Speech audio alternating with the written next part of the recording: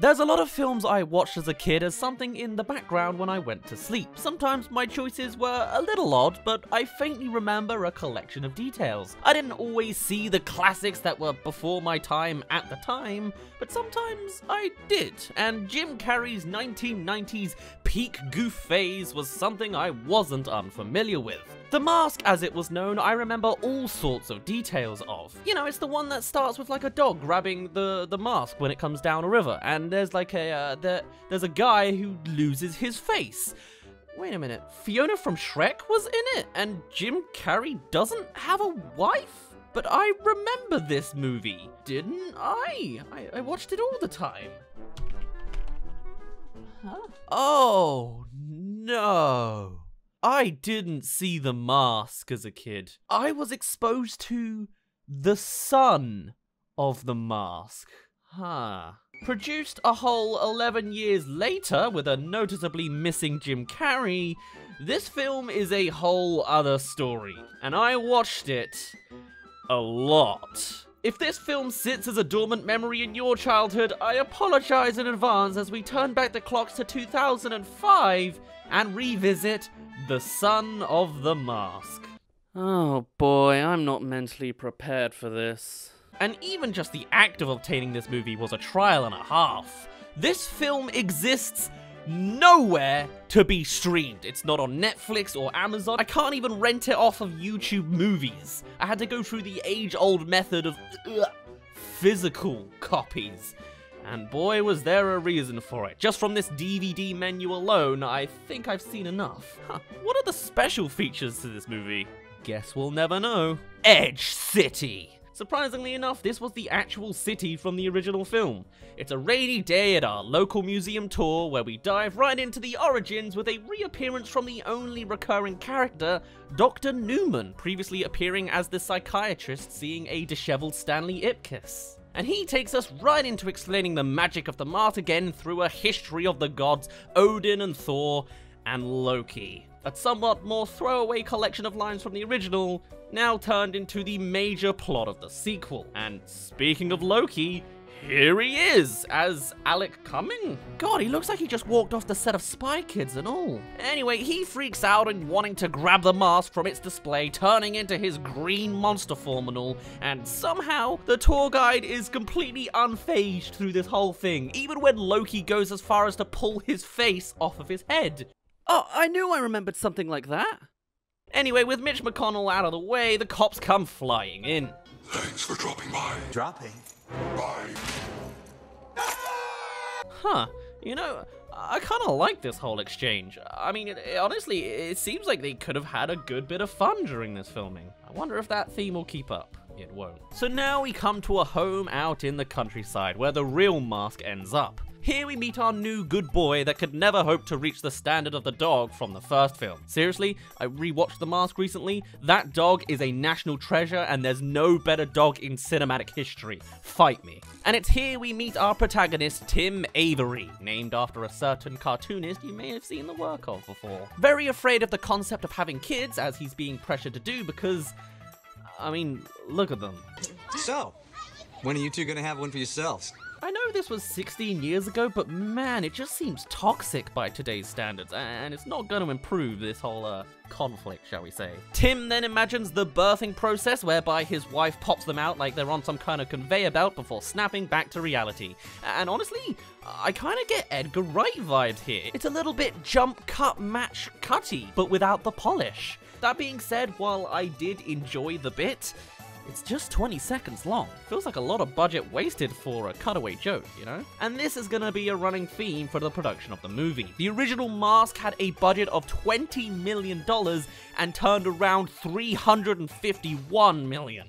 Massive! Whilst Son of the Mask burned through 80 to 100 million dollars and came back with 60. Yikes. I'm honestly surprised they were given five times the budget considering how far you can make that money stretch. But yeah, you'll be seeing a lot of wasted props with very little screen time, so prepare yourselves. That was flat out embarrassing. The mere mention of the word baby. Hey, he's playing Mario Kart Super Circuit. That's like literally the first game I ever played as like a kid. But this film came out four years later. So like, that's already outdated. So with kids being Tim's worst nightmare, his wife tries to goad him into it, and as she gets huffy about it, his restoring response is to...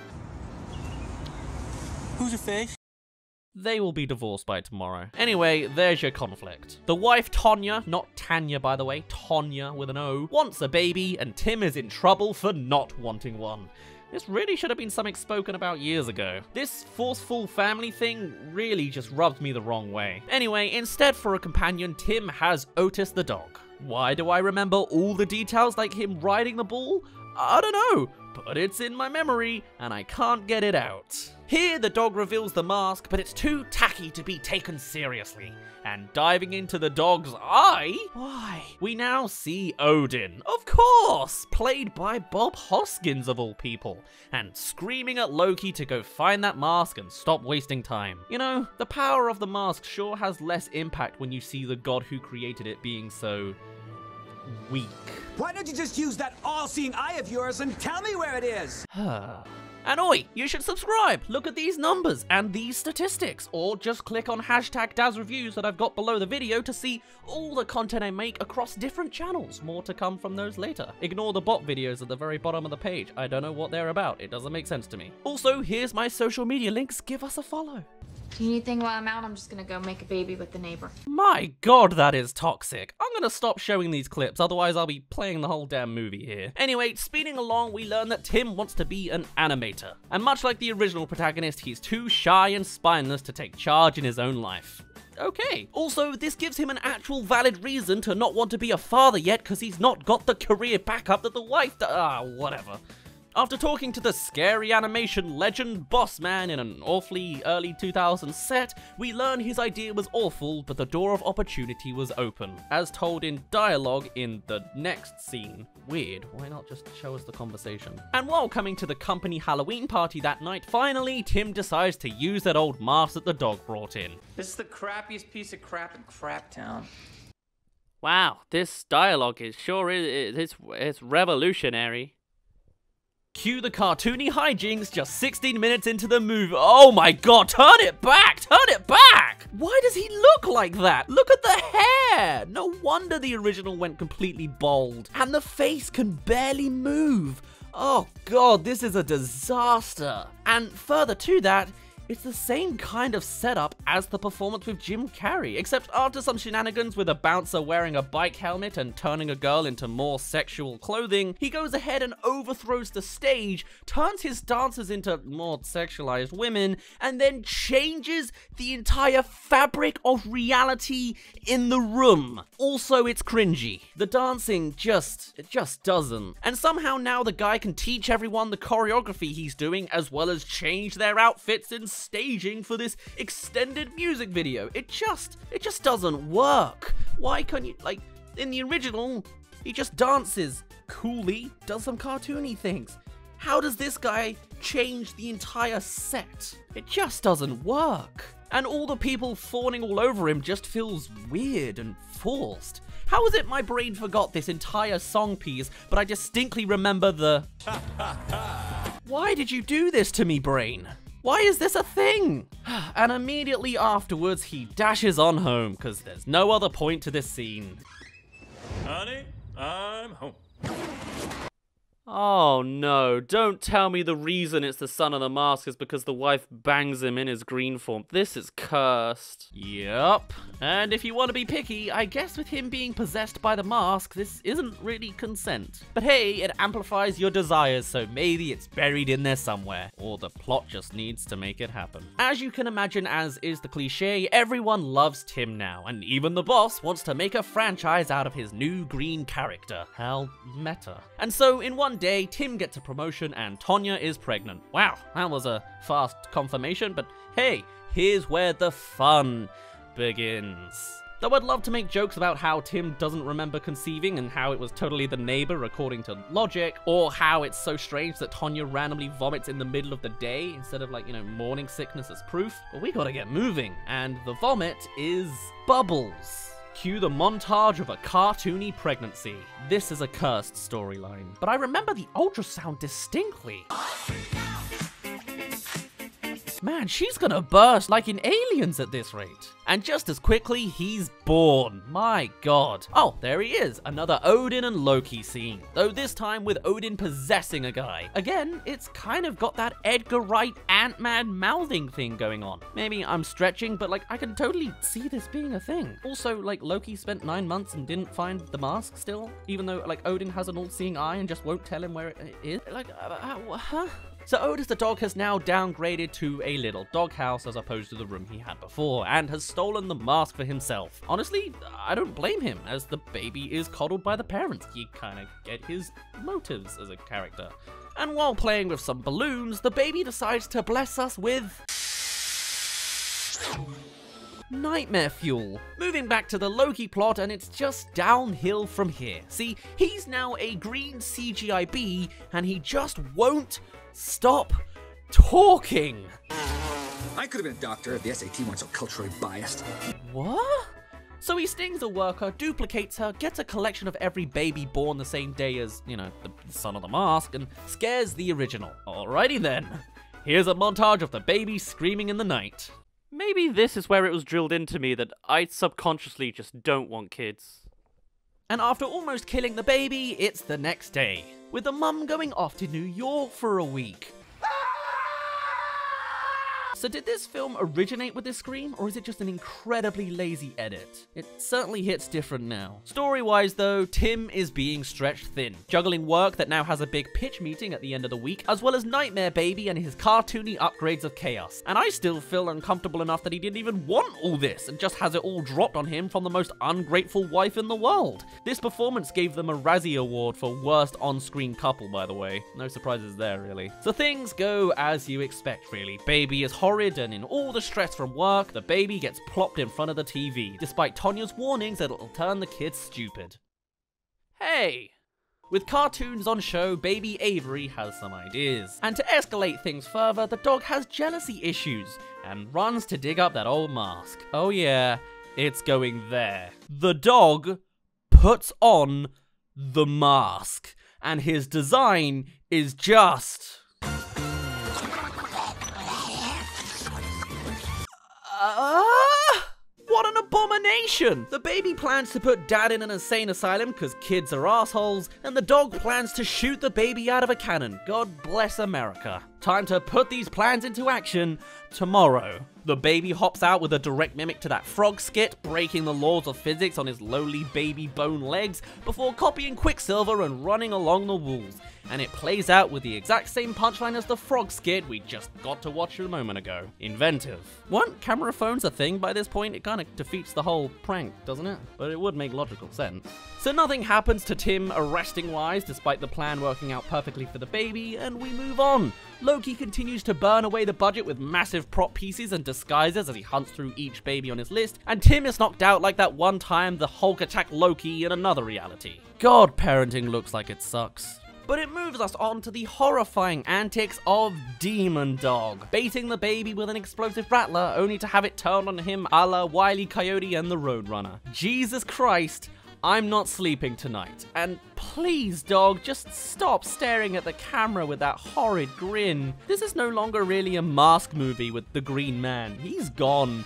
It's all just this. Tim worries for his safety, he freaks on seeing what the dog has become now, and it's time for the big event. If you were scarred before, prepare yourself, this is a three minute sequence. Uh, it's all set up to be one big wire pull attack, with a predictable switch halfway through with a gravity defying cartoon baby, and it skips right to 100 immediately, with the dog's eyes popping out of his skull as he grips the floorboards for life, followed by getting crushed into a piano. Classic, if it didn't freeze frame on this deformed carcass. The piano is chucked around and up the stairs, taking out the budget even more. Doggo is crushed into a cube, almost shredded, turned into a helicopter propeller, dropped into tar, turned into a chicken, dragged underground, yelping for help, squeezed, drowned, and squeezed again, and it was all done with classical music underneath.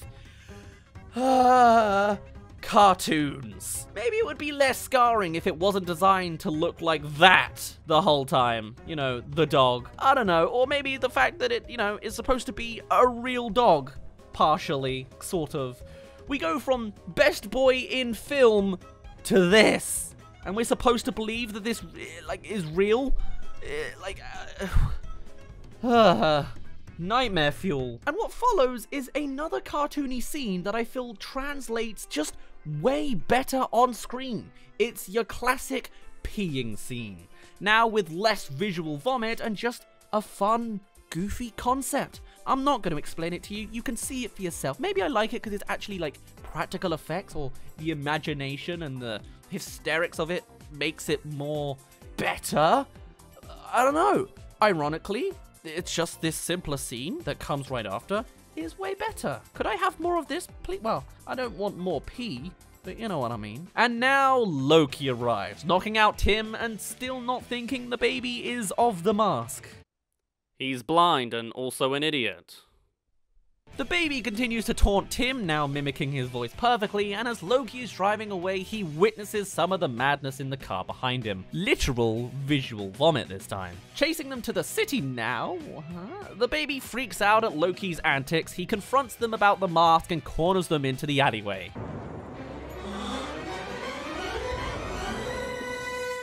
Why would you do that? And the scene is just bad. Loki throws a massive grenade, the baby deflects, to which Loki says, You really are a chip off the old block. What a tense confrontation scene. Anyway, what then happens next is Odin possesses the dad, only to take away Loki's powers just as he powers up and ignores the calls that he's literally just caught the baby.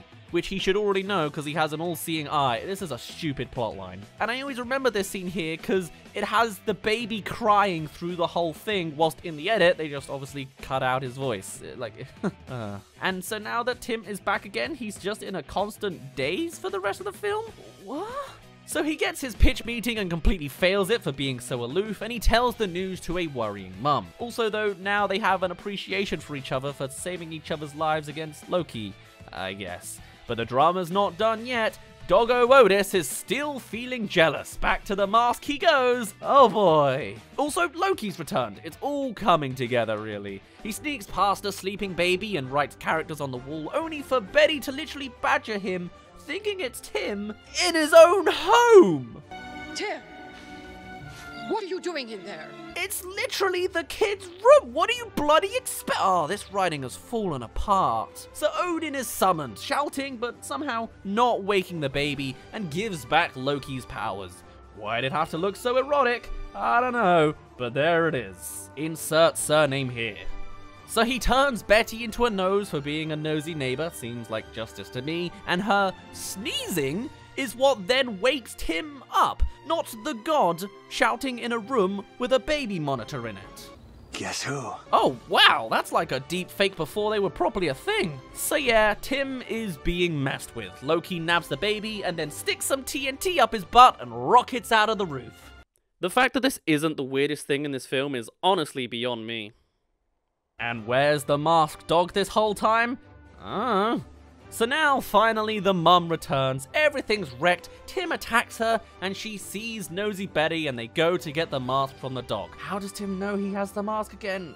Uh, and where he is is on a date mentioned earlier. So what's the point of him wearing the mask? Or whatever. And with a little convincing, he releases the mask. Didn't know that was an option, really. Kind of thought the mask, you know, forcibly possessed people and, you know, deleted the memories of the moment. Loki and the baby have a showdown in that alleyway. They can both spin, become cowboys, and. Gotcha.